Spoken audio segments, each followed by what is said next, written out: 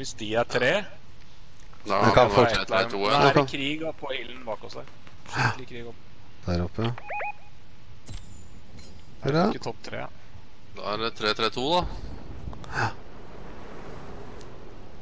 3-3-2. Så sitter det et lag i busken rett ved siden av oss. Det hadde vært morsomt. Ja, det var det jeg tenkte. Har vi sjekka de buskene her, eller? ja, det vet du. De, de, Den busken der. de bygger jo som faen. Ja. Det blir slåssing.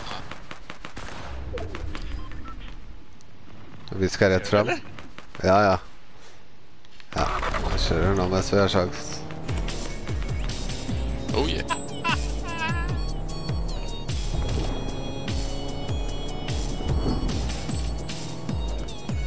Se, parker ved siden av det bilhjørnet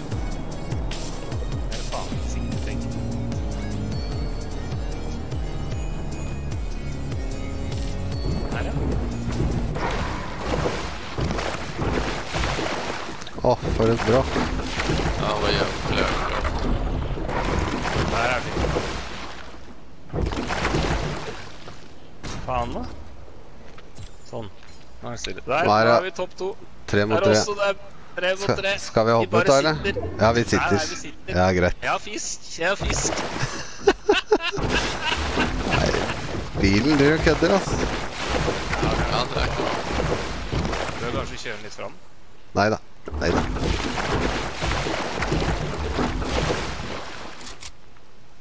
Holde roen. Holde roen. Hvis det kommer én solo nå som åpner det droppet, tar vi den ut da, eller? Ja, Vi må jo det. Ja, ja, ja. Da skyter vi ut av vinduet.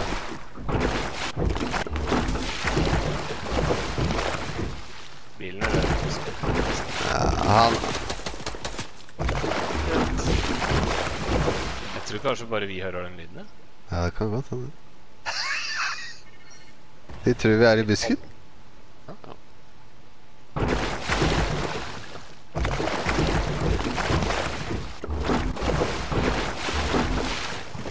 Nå skjønner de ingenting. Men hva gjør vi nå? Bruke Bruker nå- nå det litt surfebrett. verre. vi må bruke surfebrettet, vi som har i hvert fall.